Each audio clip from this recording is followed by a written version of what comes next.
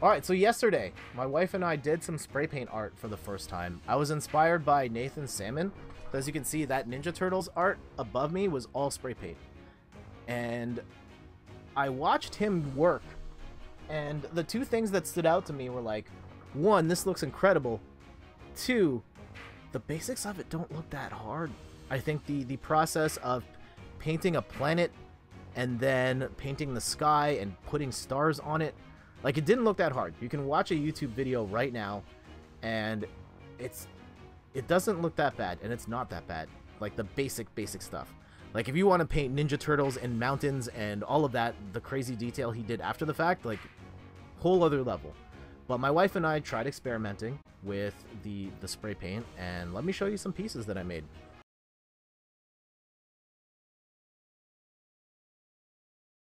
Here's the very first one I made. My goal was just make a planet, put it in space, put some stars, and maybe I can get some sort of like Milky Way thing going if I feel adventurous. And so, I did this. Let me show that here. Let me aim my mic so I can speak a little better and I can talk a little bit about this piece of art here. It looks nice, thank you. Uh, the oh man, the the lights are eating this.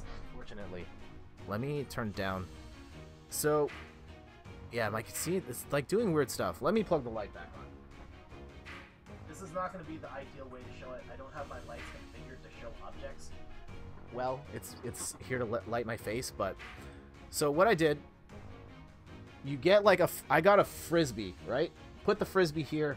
You spray just a little bit of black around it to get the outline.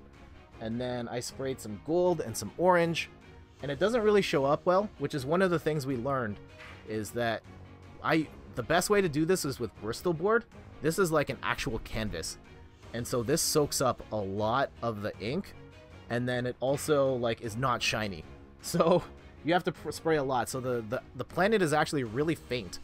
And I don't know if I can angle the thing just right. You can't really see it. Um, it's gold and orange, and then there's the shading here, so it's a little lighter here, and then it kind of fades bl to black here. And then you flick stars, you, you spray paint these two fingers, and then you flick white paint onto the, the backdrop. I would put that on my wall. Nice job. Th thank you. And then I just like sprayed a couple of times over just a swoosh to get that sort of like Milky Way effect. So that's that's one. That's the first one.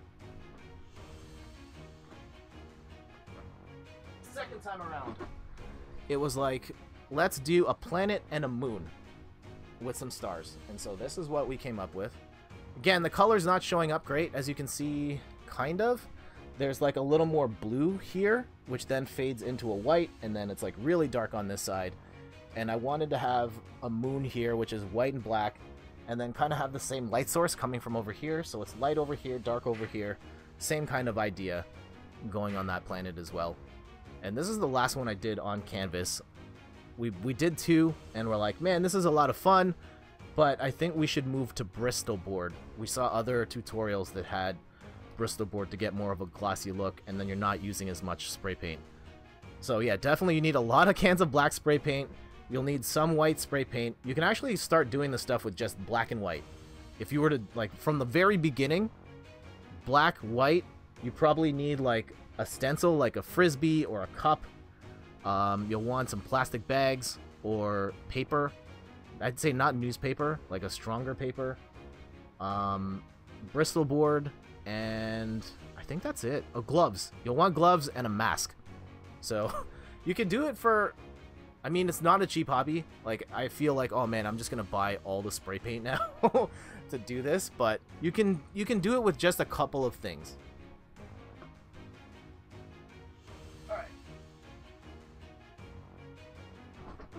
Three more pieces.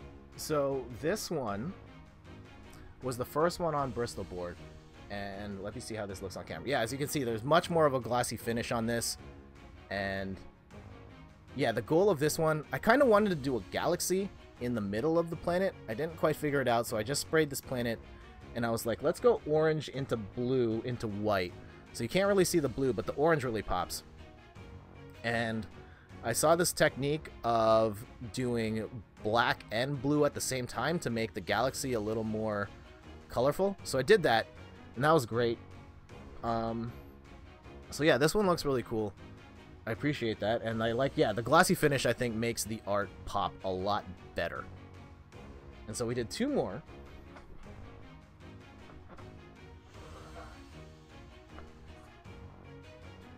So, kind of going with the two-tone sky thing, I went black and orange on this one. And I tried to do like a blue and gold planet. The planet I'm not the happiest with.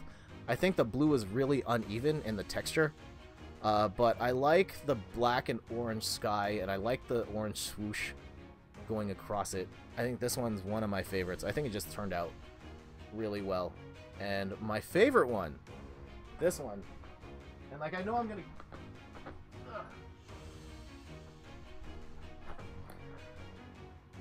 So you're setting up Artist Alley next year. Maybe. Maybe. This is a lot of fun. Um, I actually invited Randy to come to the house and work with us on this. He was busy. Um, this one's my, I'm the most proudest of right now because like I feel like this was a fully art directed piece and unfortunately it's vertical so I'm gonna have to back up here a little bit. I love this one. So what's going on here? I first painted the moon I went with white and black and then made this side really light, this side really dark for the light source. And then I saw this technique for like skies, so I started with black spray paint here, which transitions into blue spray paint, which at the very bottom it actually trans transitions to a really light blue, which you can't really see anymore, but you still kind of get the effect of like the sky fading in. And then I, I, I, I flicked some stars on there, and then the clouds. I was really scared to make the clouds. And you do that, you have to cut out a stencil and then you just spritz a little bit on. And I cut it in such a way that it looked really crappy. I thought these are going to make terrible clouds. And I just started spritzing it on. We tried it on a test one and I was like, oh, that looks really cool. And so spritz it on and the clouds ended up looking pretty good. I think next time I would use an X-Acto knife to make the, the cloud shapes a little softer. I think these came out a little too angular, but for like a first attempt, I was really proud of this one. This looks like a like an art directed piece. Like I had an idea and I made it. Here's like there's a vision for it. Like hey, there's the moon up in the sky above the clouds.